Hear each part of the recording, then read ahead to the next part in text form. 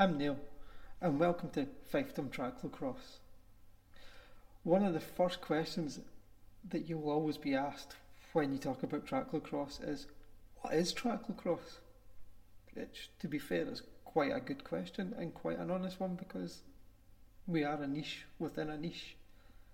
To put it simply, tracklocross is where we take a track bike and fit the widest tyres we can into that bike we then take this bike, go into the wilds with it, and ride it in places that we really shouldn't.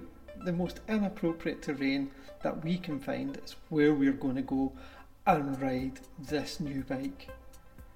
The good news is that as silly as taking a bike with no brakes, one gear into the woods is, it just puts the biggest smile on your face all your worries are going to melt away as you skid haphazardly through gaps in trees, down scree slopes, through the mud, everything splashing, hitting you in the face.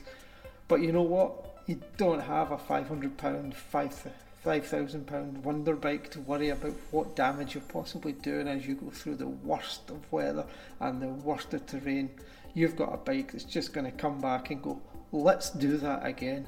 And that is why tracklocross is the best form of cycling.